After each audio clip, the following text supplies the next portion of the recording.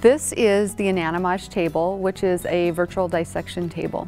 What it allows us to do is uh, teach our students cross-sectional anatomy in a, in a classroom or a educational setting that lets you repeat um, exercises so that they can better learn by practice. And you can rotate too. I think students like to do hands-on things.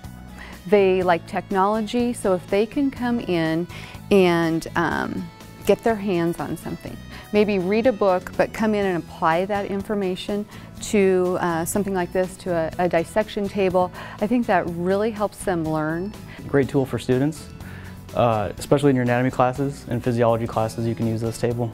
We are learning that lecture might not be the best way to teach students, that we really need to get them, like Kim mentioned, active in the classroom. And so um, having the table and being able to utilize this in an active learning environment is very important. We have cases that are different. We have specialties that we can bring in, um, cardiovascular, bone marrow cases, liver transplant cases. So our students will have an advantage just by seeing those types of cases and being able to load those in the table. We are working to bring new things to our institution and to our students, making us a forerunner in the educational process.